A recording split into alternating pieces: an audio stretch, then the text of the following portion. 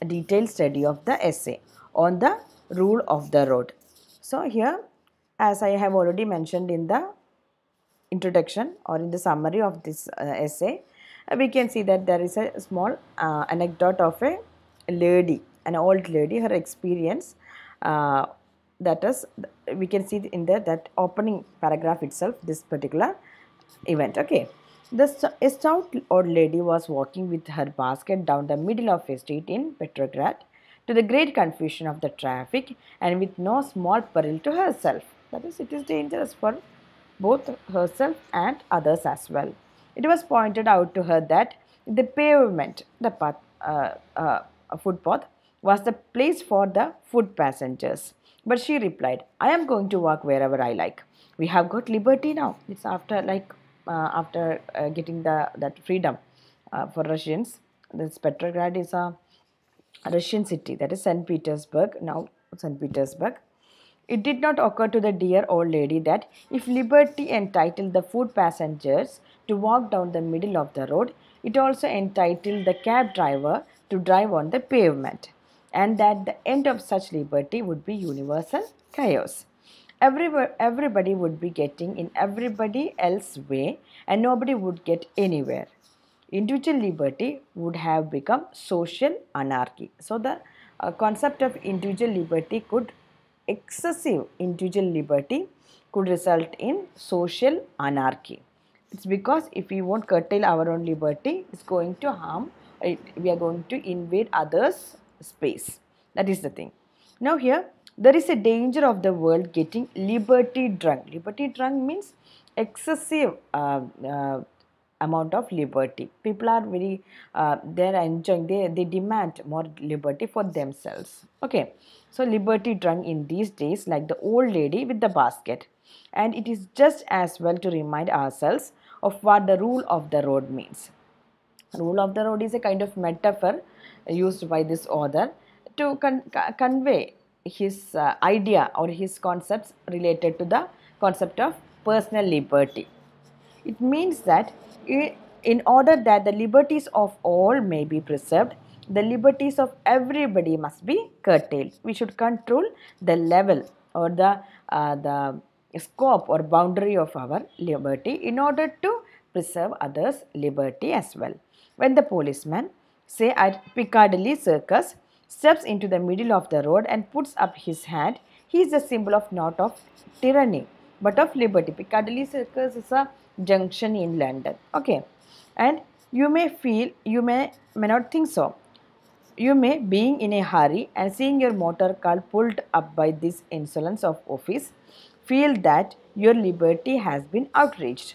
How dare this fellow interfere with your free use of the public highway? Then, if you are a reasonable person, you will reflect that if he did not incidentally interfere with you, he would interfere with no one and the result would be that Piccadilly Circus would be a maelstrom that you would never cross at all. Okay, so here at all and have submitted to a curtailment of private liberty in order that you may enjoy a social order which makes your liberty a reality. So he says that we should have an order. We should uh, we should consider others' freedom as well. Whenever we consider we, when we, we demand or whenever we uh, uh, uh, ask for our own freedom it is better. It is it should be it is it is a civilized thing to consider others liberty as well. For example he says that see there is a policeman who controls that there is a traffic police who controls the traffic at Piccadilly Circus and if he doesn't do his work nobody is going to reach anywhere that is the thing Okay, now he goes on. Liberty is not a personal affair only, but a social contract. So, according to Gardiner, he says that liberty is something that is beyond personal, it is a social contract. It is an accommodation of interest in matters which do not touch anybody else's liberty. Of course, I may be as free as I like if I choose to go down the strand in a dressing gown with long hair and barefoot. Who shall say, Mina? you have liberty to laugh at me but i have liberty to be indifferent to you see it is okay that uh, I have my own liberty. I can dress up in what in whatever attire I like to, and I can do whatever I like to. But the thing is that, see, I shouldn't interfere someone else's liberty. As long as I don't do that, then there is no issues. So he's, he continues and says that, and if I have a fancy for dyeing my hair or waxing my mustache, which heaven forbid, or wearing a tall hat, a frock coat and sandals, kind fan, fancy kind of uh, dressing, or going to bed late or getting up early, I shall follow my fancy and ask no man's permission because it is my liberty. I shall not inquire of you whether I may eat is eat mustard with my mutton. I may like mustard with my mutton, and you and you will not ask me whether you may be a Protestant or a Catholic, like religious preferences whether you may marry the dark lady or the fair lady like you can marry whoever you like whoever you like to marry whether you may prefer Ella Wheeler Wilcox to Wood, uh, Wordsworth or Champagne to Shandy Gaff. So here Ella Wheeler uh, Wilcox is a an American poet. Okay, Wordsworth is a British poet. So you can prefer, you can uh, decide uh, whatever you like to read. You can uh, select your favorite author. It doesn't matter. Okay, nobody is going to ask you because it's your liberty. Yes, everything is all right. In all these and a thousand other details, you and I place ourselves and ask no one's leave. Nobody is going to ask anybody's permission. We have a whole kingdom in which we rule alone, can do whatever we choose, be wise or ridiculous, harsh or easy, conventional or odd, whatever. Could be traditional, it could be conventional, or it could be something new gen. Nobody is going to get into anybody's way. But the thing is that, but directly we step out of that kingdom that personal space that is the kingdom mentioned by him. Okay? But directly when we step out of that kingdom our personal liberty of action becomes qualified by other pers- people's liberty. I might i might like to practice on my trombone from midnight till 3 in the morning. So it is a you know very harsh kind of musical instrument. Uh, i'll show the picture later. If i went on to the top of Helvellyn to do Helvellyn is a mountain okay. It's a uh, it's a very tall mountain in the lake district to do it. I could please myself but if i do it in my bedroom my family will object.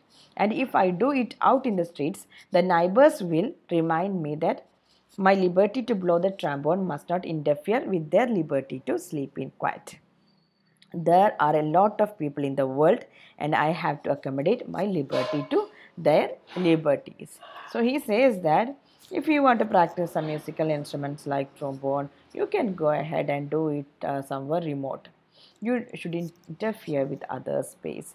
You shouldn't interfere with uh, you shouldn't interfere with others' personal liberty. That is the thing how we do. We should. That is the way how sh we should do the things. We all are liable to forget this and unfortunately we are much more conscious of the imperfections of others in this um, i can't read it and this reason than of our own i think so so basically the thing is that he says that we are always conscious about others mistakes we are not considerate or we, are, we won't consider ourselves uh, our mistakes that is the problem now he goes on that is he is going to explain one of his experience where he felt that his liberty was violated by someone else. I got into a railway carriage at a country station the other morning and settled down for what the schoolboys would call an hour's work at a blue book. So he just wanted to, uh, you know, engage himself. So he saw a blue book. There is a blue book, and he this blue book is a an, uh, statistical record of this uh, business related things uh, in Britain. So he wanted to read that. Okay, and he got into the uh, railway carriage. Of course, that, that is a personal space, and he's going to read the blue book. I was not reading it for pleasure. The truth is that I never do read blue uh, blue books for pleasure pleasure because it's not something.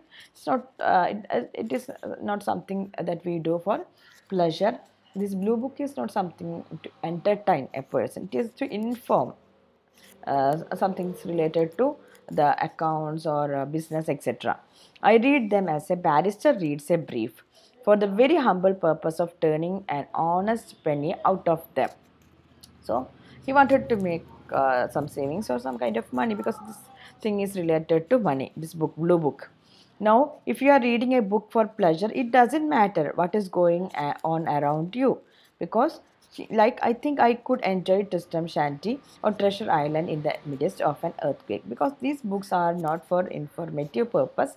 These books are for pleasure. You can read uh, this uh, Treasure Island or Tristram Shandy anywhere. And so he thinks that he could uh, read these kind of books even if it is in um, in the middle of an earthquake. But what about the blue book? Blue book needs some kind of concentration.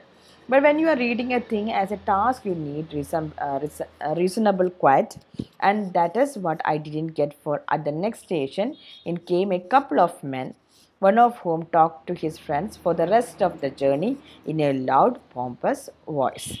He was one of those people who remind one of that story of Horne Tooke. Homtok is a person who meet a person of immense swagger in the street, uh, stopped him and said, Excuse me, sir, but are you someone in particular? So, this gentleman was someone in particular. Just like Horne Tooke's, uh, uh, Homtuk, he questioned a person with a, uh, who was very proud. So, uh, just like this, he also felt that he should ask this man that kind of question because this man is talking like he is everything, he is someone. As I wrestled with clauses and sections in the blue book, his voice rose like a gale, like a, you know, a, a, a whirlwind, um, a kind of um, wind. Okay. And his family history, the deeds of his sons in the war, and his criticism of the generals and the politicians submerged my poor attempts to hang on to my job. So this man's talking this man talks loud and everyone are disturbed, especially the author. He is trying to read a book, the blue book, and what he uh, did was that he just shut uh, this book up. I shut up the blue book, looked out of the window, and listened wearingly while the voice thundered on with themes had you know the sort of the so themes like this now what french ought to have done? The mistake the germans made. If only Asquith had Asquith is a Asquith mm, is a prime minister. Okay uh, then prime minister uk's prime minister. You know the sort of stuff like just general talking uh, whenever we, uh, we we are talking with someone in a group we would talk about lots of uh, common stuff. Just like that this man is talking in a very loud voice. So basically he the author is not interested to listen this but this thing is forced forced upon the author. You know the sort of stuff. I had heard it all before oh so often it was like a barrel organ groaning out some banal song of long ago. So this is a kind of uh, embarrassing moment for the author because he he has he he was intended to he he wanted to read this blue book, but unfortunately this man who interferes uh, the everyone everyone else peace in that particular train carriage carriage and then this man is talking. This man is continuously talking ruining everyone's time everyone's space. So this is a clear you know invasion of someone's else liberty. If i had asked him to be good enough to talk in a lower tone i dare say he would have thought i was a very rude fellow it did not occur to him that anybody could have anything better to do than to listen to him and I have no doubt he left the carriage convinced that everybody in it had, thanks to him, had a very illuminating journey and would carry away a pleasing impression of his encyclopedic range. He was obviously a well-intentioned person. It's a kind of a kind of sarcasm here. The thing that was wrong with him was that he had not the social sense.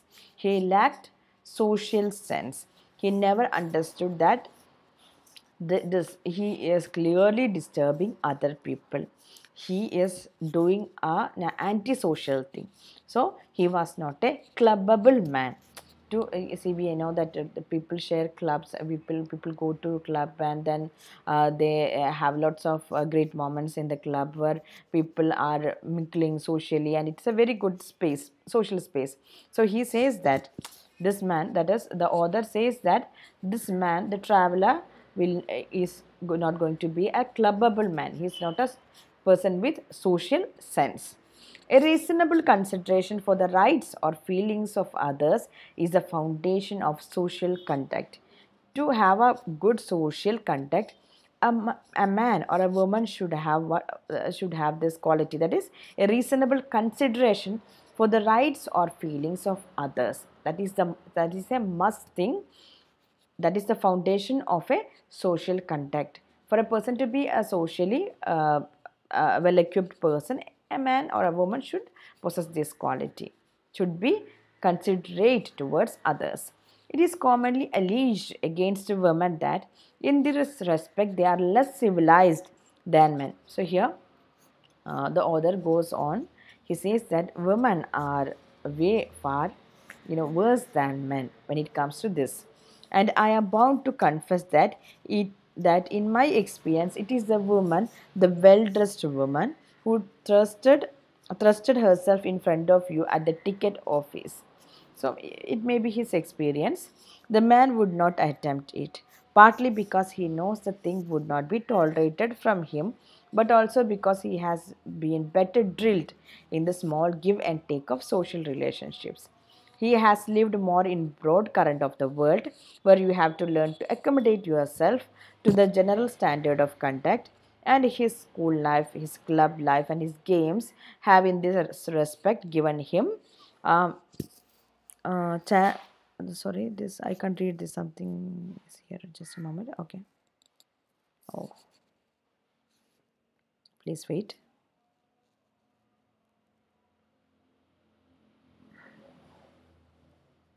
Then of your something is there i can't read it uh, because of this uh, thing. So the thing is that um, let me okay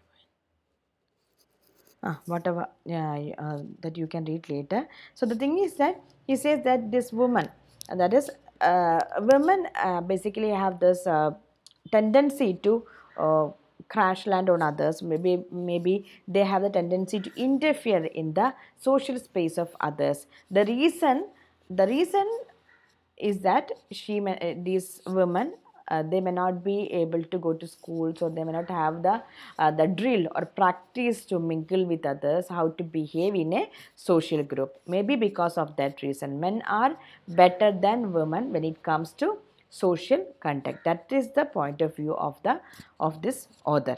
Okay. Now I believe that the rights of small people and quiet people are as important to preserve as the rights of small nationalities.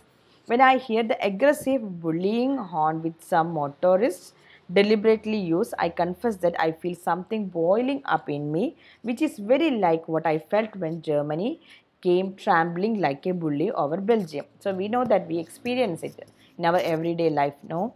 That is these uh, that bullets and that kind of motorbikes that makes a lot of a loud noise tut sound and then we know that it is very disturbing for everyone else.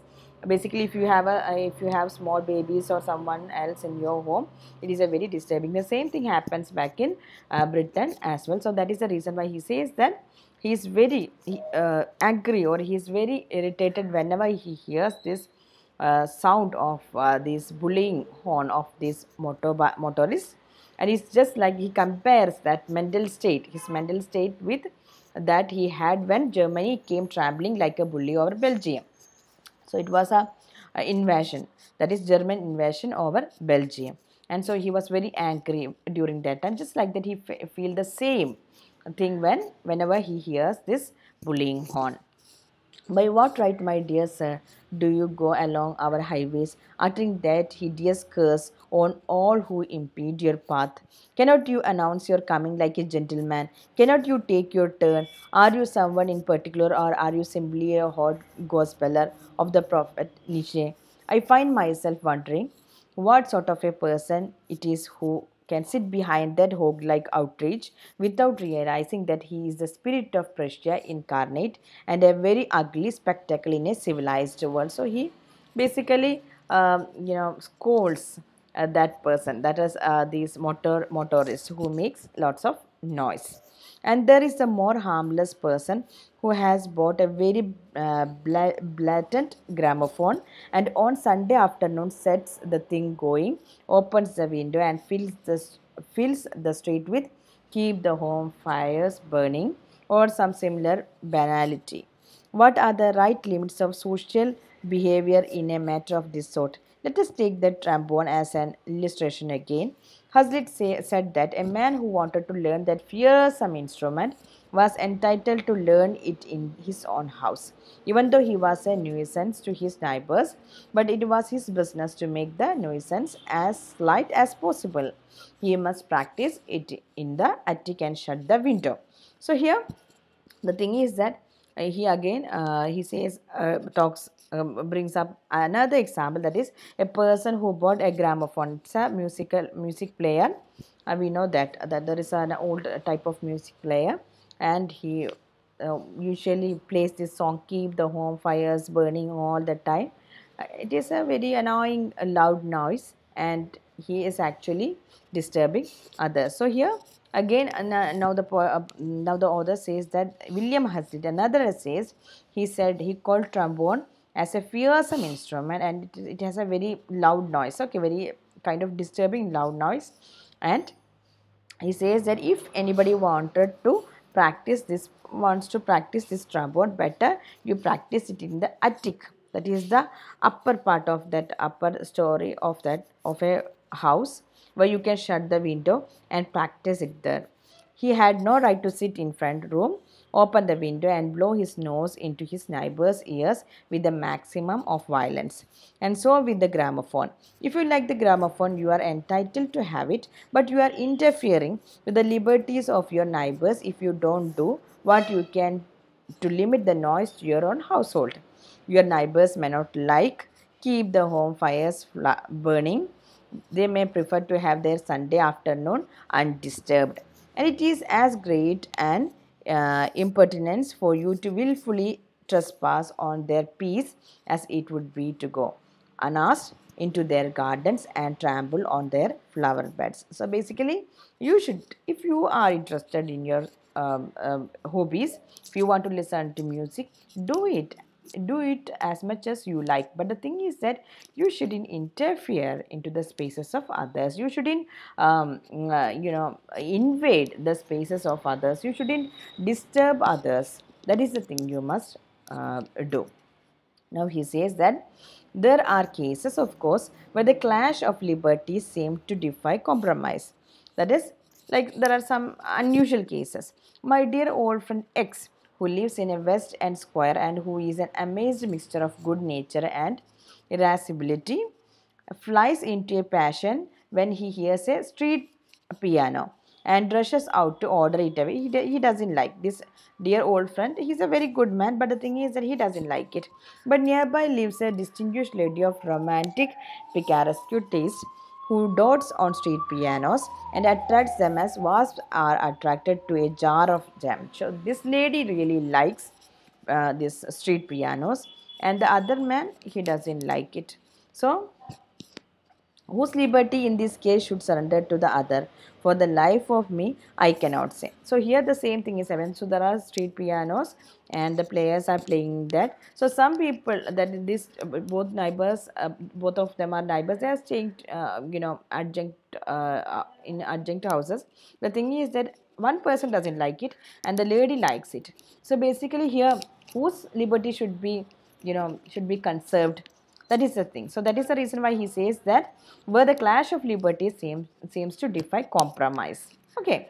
Now, for the life of me, I cannot say whose liberty should be compromised. Both of them have equal right to have this thing that is to avoid something and to uh, to enjoy something.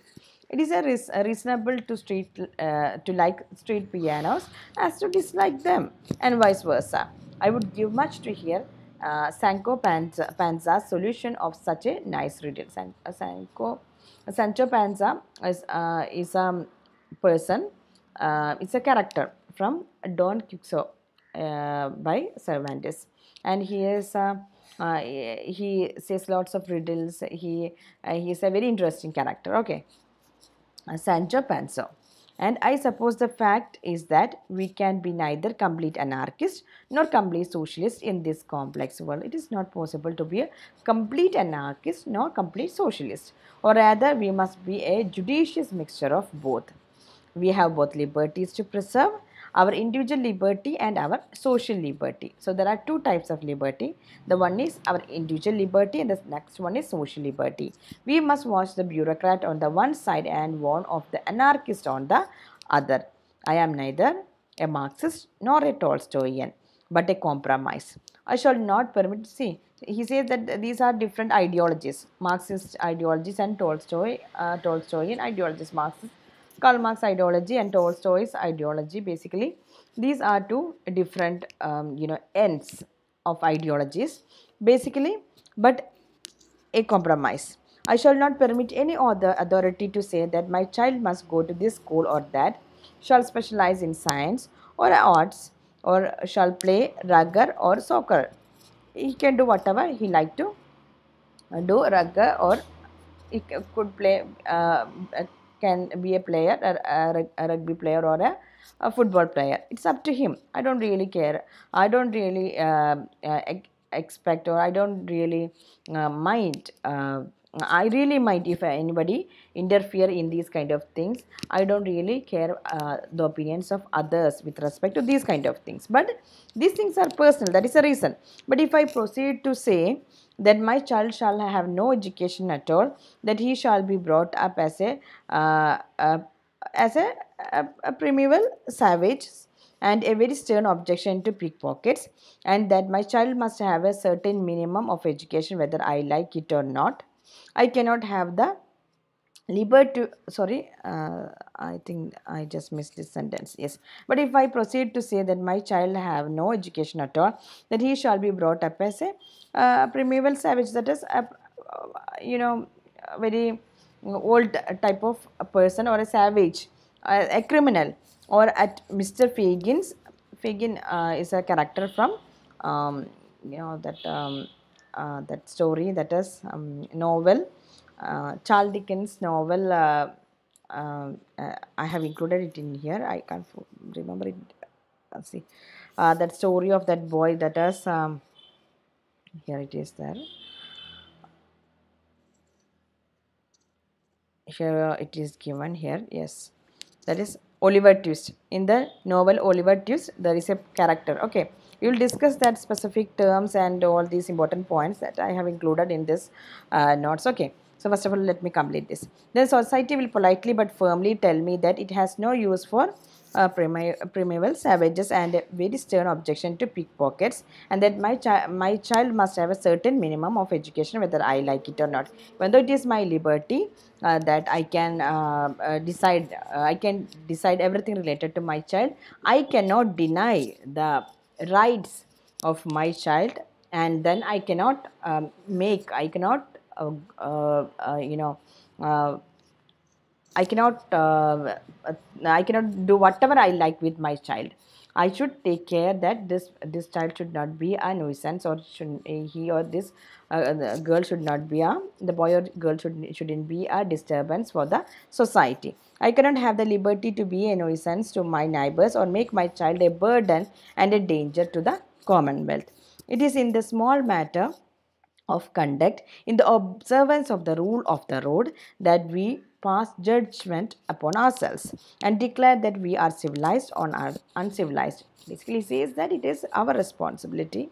We should uh, actually follow the rule of the road. Rule of the road is not basically, uh, he uh, doesn't uh, mention it uh, literally, but basically he take, he mentions it as a metaphor that is the rule of the road. The great moments of heroism and sacrifice are rare. It is the little habits of commonplace intercourse that commonplace intercourse that make up the great sum of life and sweeten or make bitter the journey. So we cannot always do some kind of heroism or sacrifice, but what makes our life more sweet, more fruitful is the little habits of considering ourselves and others as well. I hope my friend in the railway carriage will reflect on this. Then he will not cease he will not stop, I'm sure, to explain to his neighbors where French went wrong and where the Germans went ditto. But he will do it in a way that will that will permit me to read my blue book undisturbed. So he says that once uh, once a person understands this reality, that is, a person should ob- observe the rule of the road. The rule of the road means that that is we should let everyone pass through their own way. We should let all have their own freedom. We should consider our freedom and others' freedom as, as well. We should observe our personal liberty and we should observe social liberty. Then only we can uh, have a very fruitful, very calm and quiet life. We, we should, uh, th- through that way, we can uh, control or we can. Um, uh, we can uh, control our behavior and we can save the society from the chaos okay so that is the essay now we will see the